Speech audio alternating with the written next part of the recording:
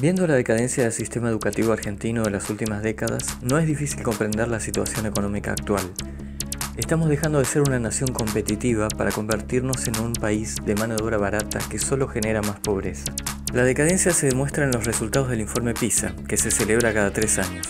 En 2018, de 78 países, Argentina obtuvo el puesto 63 en habilidad lectora, el puesto 64 en ciencias y el puesto 71 en matemáticas. En las últimas décadas se implementaron métodos más ambiguos de calificación, por ejemplo, superó, alcanzó o no alcanzó los objetivos del programa. Luego se regresó al sistema de escalas del 1 al 10, pero bajando el mínimo requerido para aprobar. Desde principios del año 2000, se comenzó a instaurar la idea de que bajas calificaciones eran sinónimo de estigmatización, baja estima, desánimo a seguir estudiando o incluso algún trastorno, promediando los niveles de exigencia hacia abajo. Donde antes se aprobaba con 7 o incluso con 6, ahora se aprueba con 4. Es decir, que con que un 40% de los contenidos estén comprendidos es suficiente. Ahora, debido al fraude de la cepa de gripe china de 2020, las calificaciones se agrupan en un bienio y se califican con un TEA, TEP o TED, dando más importancia a la entrega de tareas que a la comprensión de los contenidos, que a su vez se han simplificado aún más. La reducción del nivel de exigencia se comprendería si los contenidos del programa fueran extremadamente amplios y complejos, como si tuviéramos 500 años de historia, con dos lenguas oficiales, más algún idioma extra como inglés o portugués, los estudiantes fueran atletas, eruditos en ciencias y matemáticas, y con una amplia base para el nivel terciario. Pero esto no ocurre. En la década de los 60, los manuales del primario eran tan gruesos como la guía telefónica. En los 80 se redujeron a la mitad. Para el año 2000 parecían una novela que se podía leer en una semana. Y ahora parecen revistas que se pueden leer en un día. Muchos políticos dirán que la solución sería destinar más presupuesto, y lo hacen. Observando el gasto consolidado provincial en educación básica en los últimos 40 años, la asignación pasó del 1 a casi el 4% del Producto Bruto Interno. Es decir, que en las últimas cuatro décadas el presupuesto se ha triplicado, demostrando que dedicar más dinero no ha ayudado a mejorar la calidad educativa a pesar que muchos políticos se jactan de destinar más recursos a la educación en lugar de administrarlos de forma más eficiente. Además de ello, utilizan el sistema educativo como medio propagandístico, tanto en el pasado como en el presente. La misma gente que ahora ocupa el gobierno lo hacía antes, y también cuando la actual oposición fue gobierno, demostrando que tanto por acción como por omisión, unos u otros terminan siendo parte del adoctrinamiento infantil en los colegios. Además de esto, utilizan a los jóvenes para impulsar sus ideas partidarias, fomentando tomas de los establecimientos públicos de educación. Antes los estudiantes reclamaban por un boleto estudiantil.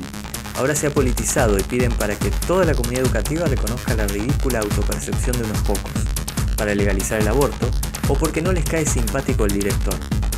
Y algunos de esos cabecillas luego tienen un premio, como el de ocupar una banca en la legislatura con apenas 18 años de edad todo sea para obtener más bancas y luego votar sus leyes. También utilizan el sistema educativo para demostrar su fidelidad a organismos supranacionales como la ONU, acatando las sugerencias de la UNESCO, organismo que elabora informes basados en fuentes de dudosa reputación e imparcialidad para fomentar su propia agenda, como la de instaurar que lo real es subjetivo, que lo que vale es la propia percepción, que no importa el sexo, sino el género, o que no importa la ciencia ni la biología, sino que vale más lo que indica la cultura, alterando nuestro sistema educativo introduciendo programas como la educación sexual integral. Nadie está en desacuerdo que se enseñe anatomía y fisiología sexual, prevención de enfermedades de transmisión sexuales o se enseñe a prevenir el embarazo adolescente. Pero no tiene ningún sentido hablar de ideologías e introducir estos temas en niños que van a jardín de infantes, cuando ni siquiera está en sus pensamientos el tema de la sexualidad. ¿Te parece bien que en las escuelas primarias y jardines de infantes se prediquen las ideologías del LGBT? Esto es lo que los políticos de ambas coaliciones partidarias han permitido. Es un total lavado de cerebro y promueven que el pensamiento de los chicos sea cada vez más limitado a partir de la simplificación del idioma. Entre menos vocablos, menos complejo será el pensamiento y por ende su razonamiento. La decadencia tiene que terminar. Si estás de acuerdo que estas cosas están sucediendo y que los políticos impresentables y mediocres no están haciendo nada para solucionar este tema, te invitamos a renacer, donde tus ideas serán escuchadas y debatidas, y juntos podremos mejorar la educación para que nuestro futuro y el de nuestros hijos pueda garantizar que ellos vivirán en una nación mejor y no piensen que estudiar de nada sirve o en irse a vivir a otro país. Entra a renacerfederal.org y mira nuestras bases, o búscanos en las redes sociales y participa de los temas que debatimos. Descubrirás que tenemos mucho más en común de lo que pensás. Juventud Renacer.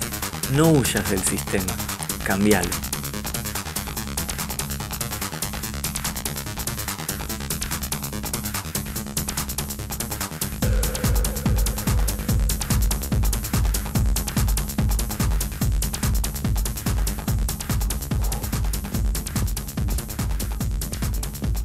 Se va a licitar un sistema de vuelos espaciales mediante el cual desde una plataforma que quizás se instale en la provincia de Córdoba, esas naves espaciales van a salir de la atmósfera, se van a remontar a la estratosfera y desde ahí elegir el lugar a donde quieran ir. De tal forma que en una hora y media podemos estar desde Argentina, en Japón, en Corea o en cualquier parte del mundo.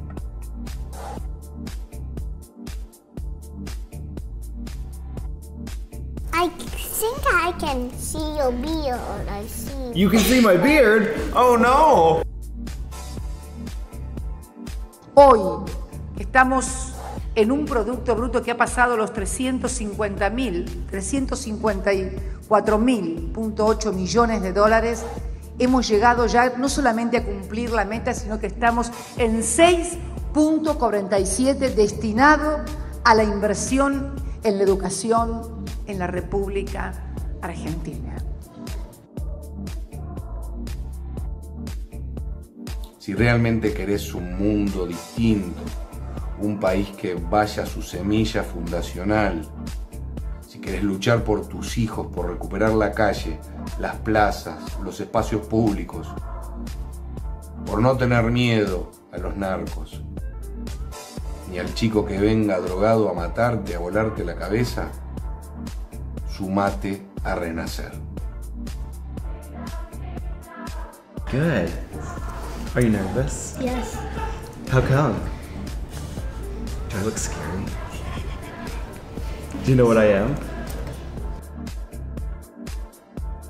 que dijo nunca más escuelas en malas condiciones, nunca más docentes y docentas tomadas como enemigos, nunca más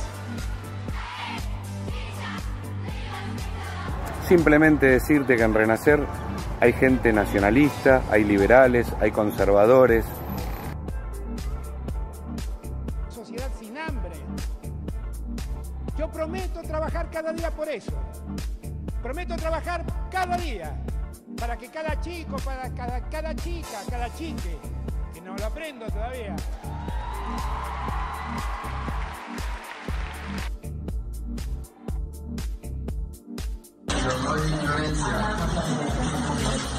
Maldonado Santiago. Maldonado Santiago. Está desaparecido. ¿Cómo está? ¿Lavado Flavio? Soy Carlos Pampillón de Renacer y quiero invitarte a formar parte de la única derecha patriótica que hay en Argentina.